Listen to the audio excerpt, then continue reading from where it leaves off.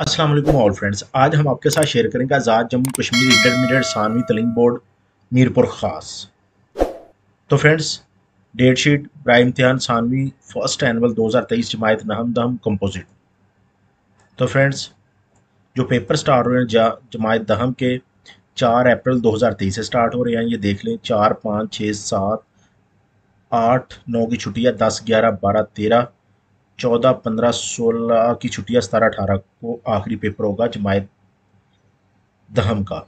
दसवीं के बाद फ्रेंड्स नौवीं जमात स्टार्ट हो जाती है। नौवीं के जो पेपर स्टार्ट होंगे ए जे के 26 अप्रैल 2023 से।